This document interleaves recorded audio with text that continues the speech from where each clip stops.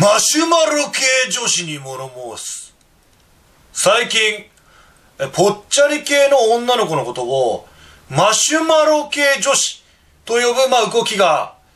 世間であるそうです。これについてちょっと一言言わせてください。豚に場所を与えるなと。まあ、こんなことを言うと、まあ、デブ女はもちろん、ま、デブでもいいからやりたい男からまあなんか非難されるかもしんないんだけど、まあ、はっきり言わせてくれ。ぽっちゃり系の女の子が好きって言ってる男は、ぽっちゃり系の女が好きなんじゃなくて、痩せても可愛い、太っても可愛い女の子が好きなだけだ。ああ無条件に、デ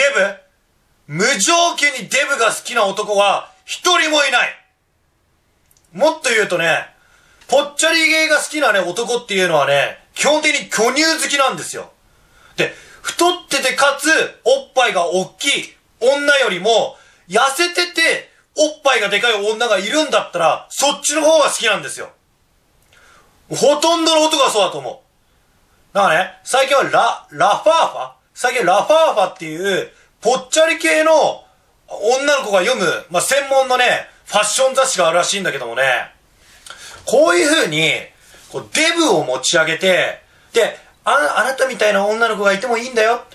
え、あなたみたいな女の子が、その世間にいても全然不思議なことじゃないの。で、なんか居場所を与えるから、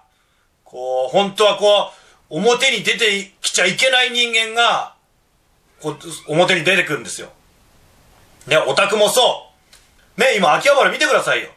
本当はね、オタクなんて、表に出、出て、で、出てこなかったんですよ。それを、なんか電車男とか、原始犬とかが、こう出てきてね。で、それを見たオタクが、こう声を揃えて、そうだそうだ俺たちも表に出ていいんだ俺たちも恋をしていいんだって言うようになった。で、今もこの現状ですよ。デブやオタクは、本当は表に出てきちゃいけない人間なんです。アメリカは、まあ、ものすごいね、肥満が多い社会なんだけれども、アメリカはね、デブは出席できない。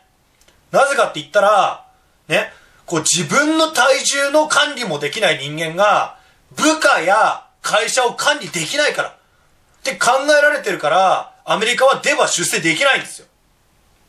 俺はその通りだと思う。あ豚女、よく聞け。可愛くなりたいっていう気持ちがあるんだったら、デブ向けのファッション雑誌を買うのではなく、ダイエットしろ。お前らは、周りの女の子が、ね、食事制限をしたり、ね、運動をしたりして、頑張って痩せてる期間に、ベッドで、ゴロゴロ、ね、漫画を読みながら、ポテトチップスをボリボリ、むさぼり食ってた、折り紙付きの怠け者だ。その怠け者が、今度は何、マシュマロ系女子などと、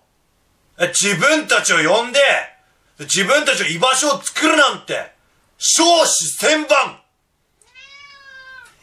!100 歩譲って、100歩譲って、ちょっと太めの女の子が好きな男はいるかもしれないが、ね、努力をしない、ね、ゴロゴロばっかりしてる、怠け者が好きな、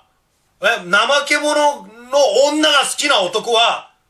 世の中には一人もいないぞ。勘違いするんじゃない。この山盛りうんこが。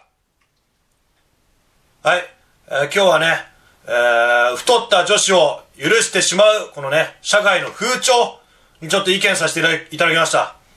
えー、皆さんも、もうデブは甘やかさず、厳しい態度を取りましょう。ということで、柴田でした。